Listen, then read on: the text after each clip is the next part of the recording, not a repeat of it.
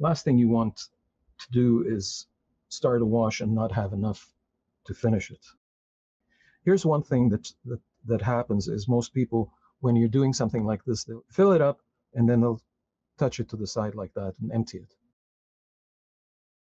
You don't want to empty that brush. You want, the reason why we use these brushes, the mop brushes, is because they hold a lot of water. So we don't want to empty them. You can hold it up like this and it'll drip whatever it needs to drip and then go ahead, come, come up here and begin doing your wash. And the way that I like to do my wash is to make sure that I have a nice bead that I can work from. And also to make sure that when I'm when I'm using my brush, I'm I'm barely touching the paper. I'm I'm really trying to pull the bead down, right? I'm I'm pulling the bead downwards um, as I go along, and I'm not I'm barely touching the paper. And I'm also pointing my brush in the direction that I'm going. So I'm not doing this, I'm not doing that. I'm actually pointing the brush in the direction that I'm going and allowing the bead to just move below, move move lower as I as I do this. And this is very, like I said, I'm not like the thumb. I'm using the thumb to hold the brush in place. I'm not using the thumb to push the brush into the paper. That's how I avoid having those plowing streaks that that a lot of people have when they're doing washes like this.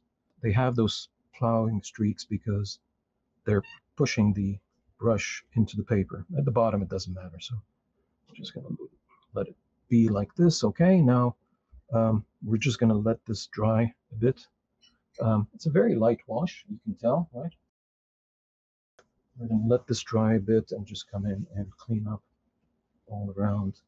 Um, be careful with the bead at the bottom of the page because that will want to come up into the painting again. So we'll just come down here and lift it with the Kleenex like this and make sure that it's it's not accumulating. And if it does accumulate, just come back and pull some more. Okay. So first wash. I'm going to be using my um, hair dryer today just to make sure that we we're moving at a good clip. And here's the um, here's the trick with hair with hair dryers when we work with watercolors, we're working with a, with pigments. Pigments are little tiny particles that float in the water. They don't actually dissolve in the water; they float in it. And when they do that, um, and they're coming, uh, you know, you place them on paper, they're sort of settling in. They're, they settle into the paper uh, on top of it most of the time. They sort of settle uh, on there. Um, if you use your your hair dryer while they're settling, in other words, while the the top of the paper is wet, you you push them into the paper, and again, again that tends to make the picture dull. But if you wait a bit and you wait until they've sort of settled into the top of the paper, but there's a thickness to the paper, so the top is dry, but the wetness remains underneath in the paper. That's okay then to use your hair dryer. You just want to make sure that you know you touch you touch your hand to the paper like this. This is not dry yet. I can see a bit of water on my on my fingers. So we'll wait a couple of minutes more and and make sure that it's completely dry before we come back in and do um, the use the hair dryer and then and then go ahead and uh, and do another wash. I'm back and I'm I'm gonna do a second wash now. So uh, again, the same thing. I'm I'm just taking this and going ahead and beginning at the top here and making sure that I have a nice bead and building up from there and coming downwards. And you can see now that the color is much richer. It will be, it will actually turn uh, even nicer when we add the, the next color on because all of that, you know, the fibers uh, will be coated and will have true color as opposed to color that's sort of being interrupted by texture. So and is that the same color that you used before? Absolutely the same color, same wow. consistency. So I'm not I'm not adding um, uh, I'm not increasing the intensity of the color. I'm just um, I'm just um, doing another wash with the same exact color that I used before. you know, if you don't want to adjust your monitor, just know in your head that's this is yellow yellow ochre. Again, I'm going to wait a couple of minutes until everything is settled and and dry. It dries from the top faster than the bottom, of course, because the water is coming down. We're waiting for this bottom part right here to dry, so everything else is a top dry, but not the bottom here. So what I want to do with this one is I want to start at the top really heavy, lighten up in the middle, and go back to being heavy at the bottom, right? Um, so I want to tr transition different ways. So I'm going to begin here pretty heavy like this. Um, take my bead and begin to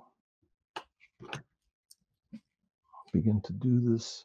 Now I'm it's really nice and rich and I like it like, this, but I'm going to go ahead and pick up some water now in my brush. So I'm actually trying to reduce.